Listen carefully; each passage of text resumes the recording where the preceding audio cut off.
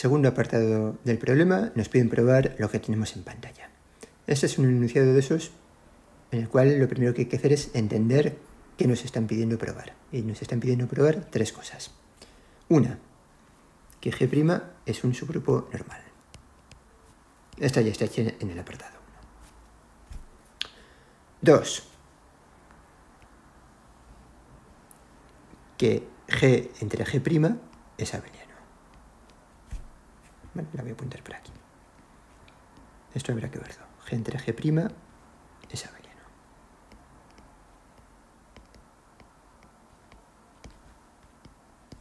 Y 3, que es el menor de los subgrupos normales que da cociente abeliano. Luego veremos cómo escribir eso en lenguaje matemático. Vamos a empezar viendo que G entre G' es abeliano. Para ello,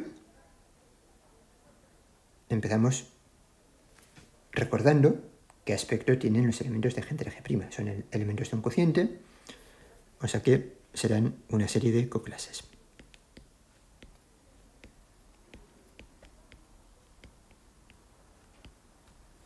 Vale, aquí estaré escribiendo la misma coclase muchas veces. Me da igual. Queremos ver que es abeliano. ¿Vale? Es decir, lo que hay que ver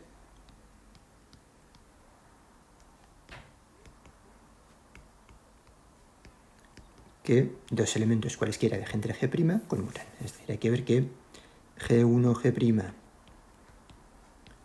G2G' es igual a G2G', G1G'. Para cualesquiera G1 G2 de G.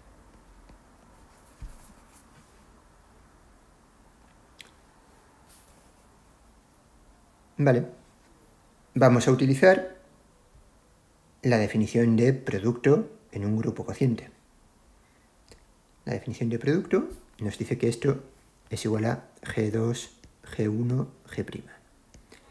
Y el lado de la izquierda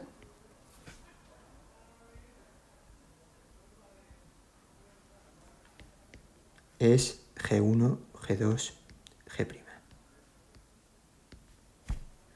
Bueno, recuerdo, queremos probar que se cumple esta igualdad. O sea que la pregunta es, a ver si G1, G2, G' es igual a G2, G1, G'.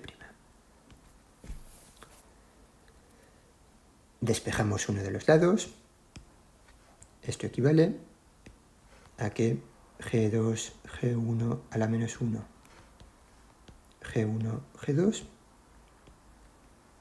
G' se iguala a G'.